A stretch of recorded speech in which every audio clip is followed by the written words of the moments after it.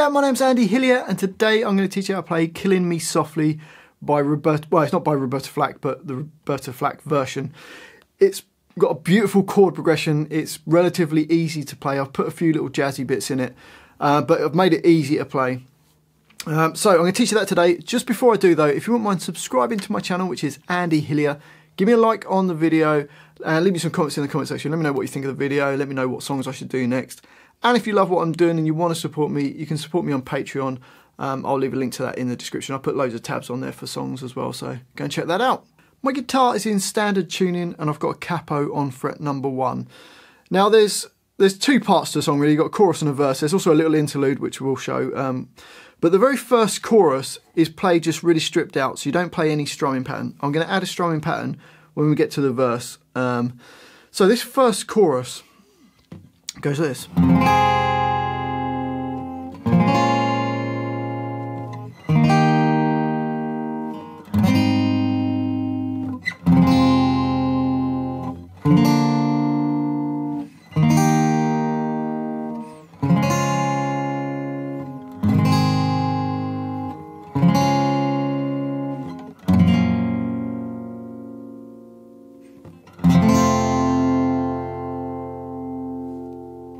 So for that, we're going to play an E minor chord. Uh, but you could play just a normal E minor chord if you want, uh, which is just A2 and D2. But it sounds nice because the melody note is starting on this E3. So if we add that E3 on the top, then it sounds nice. Or sounds nicer than taking it off. Still an E minor chord. So you've got E minor. The next chord we need is an A minor 7 which is your first finger on B1, second finger on D2. You're going to play from the A string downwards. Next chord is a D chord, which is your second finger E2, first finger on G2, and third finger on B3. Playing from the D string downwards. The fourth chord, you might not have come across this one, is a G major 7 chord. First finger E3 nearest to your face. Second finger on B3. Third finger A4. Little finger on D4. Um, and hopefully your first finger will mute off the A string so it won't ring. Then you just play down from the E string down to the B string. The E string nearest the floor is muted off as well. Then we've got E minor. Uh, bar six is an A slash C sharp, which is your third finger on A4. Remember you got a cap on fret one, so we're actually on fret five, or where normally fret five is. So first finger A4, and your first finger goes across the D, G, and the B strings at the third fret. Now you could just play a normal A chord, but it sounds good to get the C sharp in the bass there. Next bar is uh, bar 7, we've got a D chord. Bar 8 is a C chord, which is your first finger B1, second finger D2, third finger A3, play from the A string downwards.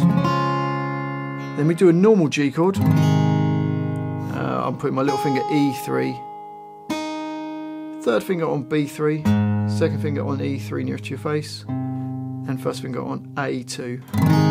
For that chord, you can play any type of G chord you want. Then it goes back to a C chord. And then we've got F major 7. Exactly the same shape as I had for the G major 7, but just move down to the first fret. So your first finger's E1, second finger B1, third finger on D2, little finger on G2. And in this first verse, there's two bars of F major 7. Uh, sorry, on this first chorus. There's two bars of F major 7, but I only play the first one and hold it through um, the two bars when you play this first chorus. When we put the rhythm in, you do two bars straight. And then the last chord is an E major this time, which is your first finger G1, second finger A2, third finger D2. So let's try that first chorus. Here we go. Ready? And.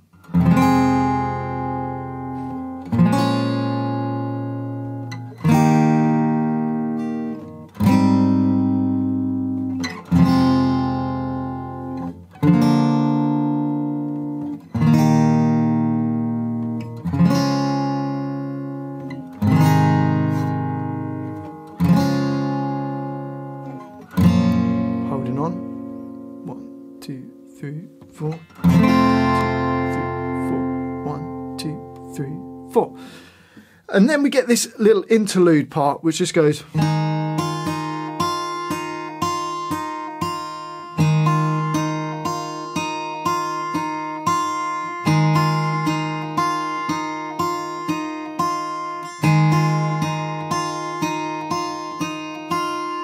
So for that, we're playing bar 15, open G, open uh, D, so open D, open G, and B3 at the same time. So just put a finger on B3. Then play the E string, B3, E, B3, E, B3, E. So bars 15 and 16 go.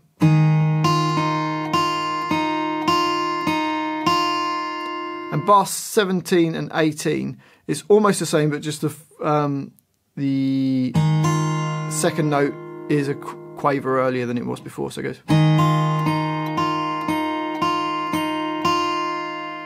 Um, and those bars 17 and 18 repeat round three times before it takes us to the verse.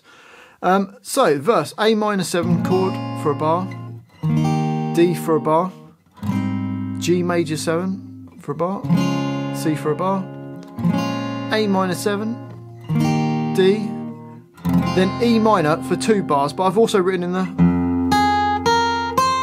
in the first verse it plays this open E string, so we're in bar 26. So you play the E string, then E3 nearest to the floor, E5, and E7. It's quite a nice little line just to put in. Uh, and it's easy to play. Then A minor 7 for a bar, D for a bar, G major 7 for a bar, and then the last chord is a B7 chord, which is your little finger E2, third finger on G2, second finger on A2, and first finger on D1. And you play from the A string downwards.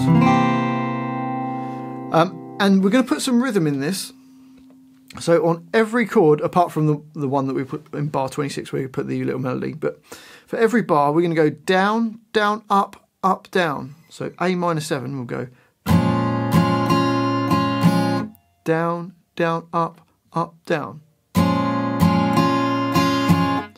So let's put that rhythm in um, to the whole line. Here we go. Three, four.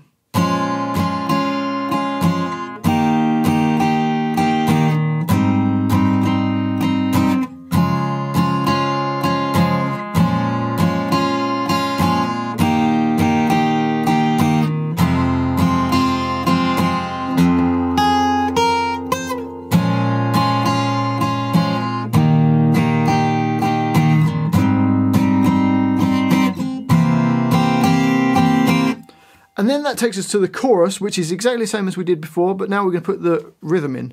So here we go. Three, four.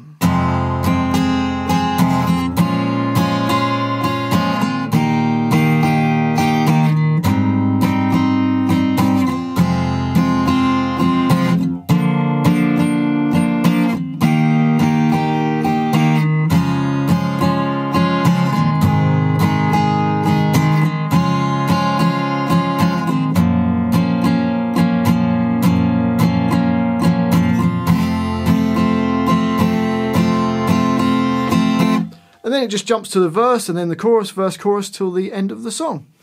Well, I do hope you've enjoyed that little guitar lesson. It's a beautiful song. It's a beautiful version of it. Uh, go and check it out if you haven't heard it. Uh, if you have enjoyed this little lesson, if you wouldn't mind subscribing to my channel, which is Andy Hillier, it really does help me out. Give me a like on the video as well. And please leave me some comments, some feedback. Uh, let me know where in the world you're from, what you thought of the video, what songs I should do next. And if you love what I'm doing and you want to support me, you can support me on Patreon. Uh, I'll also put the tabs for this on there uh, so you can print them out. Well, thanks for watching this. I've been Andy Hillier and I'll see you next time.